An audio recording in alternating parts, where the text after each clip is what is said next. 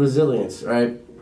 For me, the ability to bounce back, withstand from difficult, from or basically make a comeback from difficult situations. Um, you know, my story is of resilience, um, but yet the story of resilience is made after.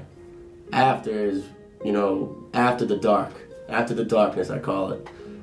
I think your true self, I think you really find yourself, who you are, during the darkest moments.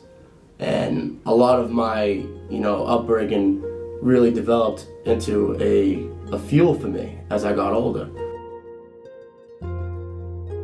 Um, for me, early in my life, I lost a mother to cancer, and then I had my stepmother. My father ended up getting remarried, and then later on, she abandoned us.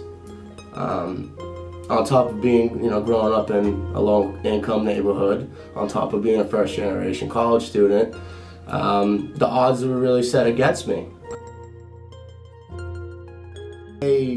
Uh, when my brother got diagnosed with cancer, he was my superhero.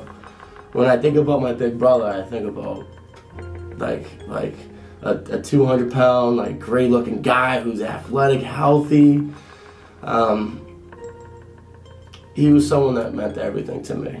I tell him that I loved him and I'm gonna miss him.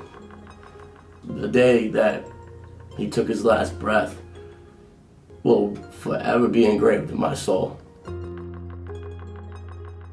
Today, I made it my mission.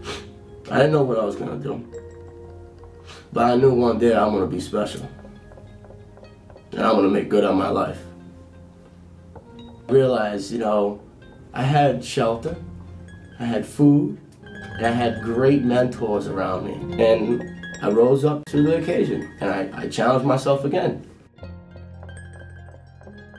Always been very active and, and especially in self-growth.